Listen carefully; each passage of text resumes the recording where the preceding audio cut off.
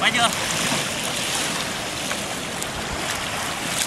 Giới thiệu các bạn à, tại bãi tắm đôi à, đảo Bến Hà Nội thì các bạn rất dễ dàng tìm thấy những con hải sâm. Lần đầu mình nhìn thấy con này.